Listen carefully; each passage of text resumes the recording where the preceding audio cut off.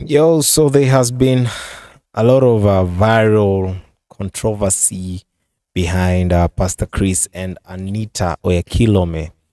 So there are different publications that have been writing this story over the years. Actually, it's quite it's been quite uh, a long stretch. But now, finally, finally, Pastor Chris addresses the media now concerning everything, concerning everything about uh, his stand and Anita Oyakhilome as well. So I just had to share this video just to bring these uh, to the light. And uh, there's something else that Pastor is really uh, speaking about that is quite uh, profound. So I'll ask that you watch this video until the end, and then later we'll just get back and actually just review it. houses, particularly in Nigeria and, and maybe in South Africa, I don't know, but there are some of them who've been writing some real stupid things, real stupid things, and uh, what frivolous charges. That's crazy. A man of God, you have to understand something about a man of God. A man of God is not just someone who worships God or who preaches God. A man of God is handpicked by God, Hallelujah. set on course by God. If you study the scriptures, you will not find one man of God going against God, sinning against God.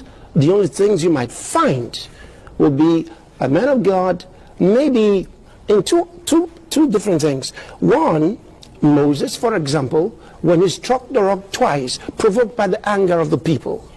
Not because he wanted to do something against the Lord. No man of God does something against the Lord. Are you hearing me? No. A man of God is set on course. This is, this is a type of life that he is given. All right?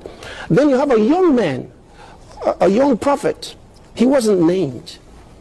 He was deceived by another man of God. And so he went in the direction God said, don't go. That's the only kind of thing you find about a man of God when he misses the message of God or he acts beyond what God said. But a man of God setting himself in defiance against the word and living like they're writing those stupid things about me that I did this and I did that, you don't know who a man of God is. I don't go in that direction. That seems crazy. I wasn't accused of the things you said, nor did I commit those stupid things that you said. See, and I don't need to go into that level in such discussions. Jesus Christ was accused by many, lots of frivolous charges. There will always be those who would like for it to be true. But you know, in spite of the accusations against Jesus, it didn't change who he was. See, it didn't change who he was. There are preachers and there are men of God. I'm not a preacher. I'm a man of God. Understand the difference. See? And I go in the way I'm asked to go. It may cause some trouble with individuals. But that's not because I've done something wrong. See, that's not because I've done something wrong. And when it comes to Reverend Anita, what I would say to you, pray for her. Don't act like, if you're married to a man of God, it doesn't make you automatically mature. You, you can make mistakes. You can do something that's wrong. But you know, people expect the wife of a minister to definitely be at the level of that minister. And so they may be looked upon and the expectations may be like that. But it's a positional thing. All right? It's a positional thing. Uh, if a man of God is married, it doesn't automatically mean that the wife of the man of God is therefore a woman of God. That's not the way it is in the Bible. That's why you don't really find the wives of men of, men of God mentioned in the Bible. How many of them? Who was Peter's wife? Did you know her name? You, you never found out. Who was John's wife? Did you ever read the name? What about all the other apostles? How many of their names are written in the Bible? You never found their names. Why? Ask God when you find him. See? So, um, they're little things, and don't try to make something big out of them. And work Johnny in, doing the things that God's called us to do. Christians should not have a divorce. It shouldn't be. But you see, that doesn't mean a Christian may not take the step. They may do it, but that doesn't make it right. And we shouldn't take one another to court.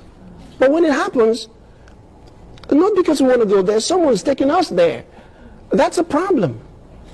But be wise and, and stay focused in the Word of God. And don't let those who want to fist on things like this, including Christians, you know, the, the Christians who like things like this, they want to make something big out of it and say, yeah, yeah, yeah, yeah, yeah, yeah, we said it. What you said, what? you, you, you should only say those things that are from God and become honorable in your speech. Yes. All right? And judge nothing before the time. Glory to God. Be wise. Glory to God. So we're going greater and greater and greater by the power of the living Christ. Hallelujah. So we're not walking in sin and living in sin and hoping that we can mix sin and righteousness together. No, we are the manifestations of his righteousness. We walk in that light only. Hallelujah.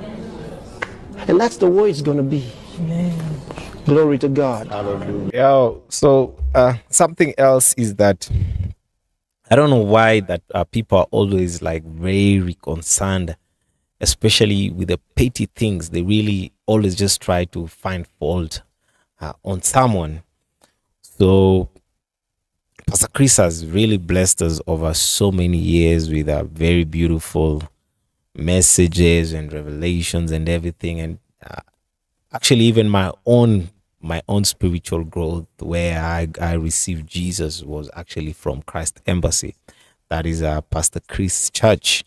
That is my church. That is where I received Jesus, and uh, it's quite a blessing. So, our main focus should not be really on those petty matters like the videos I've been seeing, even uh, circulating. Like there's another video I saw of uh, Daysman or Kilome, and then they're trying to bring Pastor Chris to all that actually all that drama and everything. I don't I don't know even how how legit that video for Dayman's or Kilome is, how legit that is. Dayman is actually the son, is the son to Pastor Chris Elder's brother. Yeah. For I think he's the son for his his Ray's or Kocha's son because uh, Pastor Chris doesn't have a son. He has daughters. There are two of them. One got married the other day. Yeah. So, but anyway, people are bringing in a lot of uh, they're bringing a lot of situations. They're bringing a lot of petty, just petty, just create making a petty matter to be actually very big and very huge.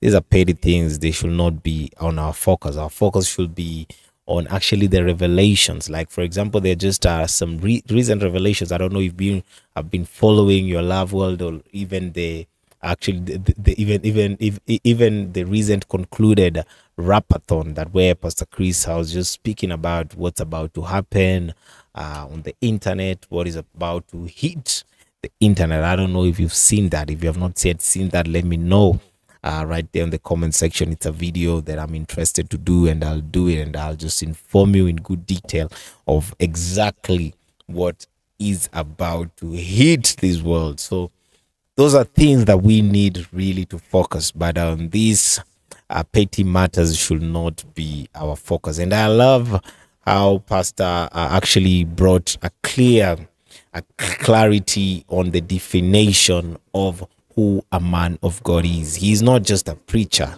but he is a man of God. That is a man that is sent from God. That is a man that hears from God. That is a man, every step he takes is a step that is actually God intended.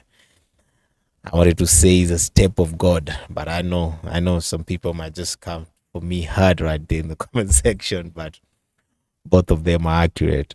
So yeah, so that's what's up. I like to hear what you think about this right there in the comment section, but it's a good thing that uh, Pastor finally addressed this matter. So let me know what you think about this right there in the comment section. Stay blessed and see you in the next video.